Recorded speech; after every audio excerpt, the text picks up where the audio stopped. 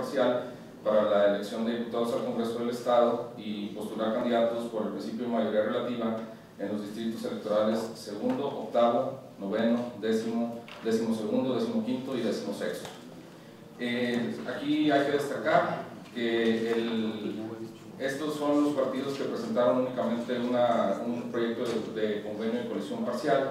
Lo presentaron el día límite para ello, que fue el 9 de abril, y una vez que se, se formó el expediente relativo por la Secretaría Ejecutiva, fue puesto a disposición de los miembros de la comisión y se analizó en, teniendo siempre como parámetro los artículos 58, 60, 61 y demás relativos del Código Electoral.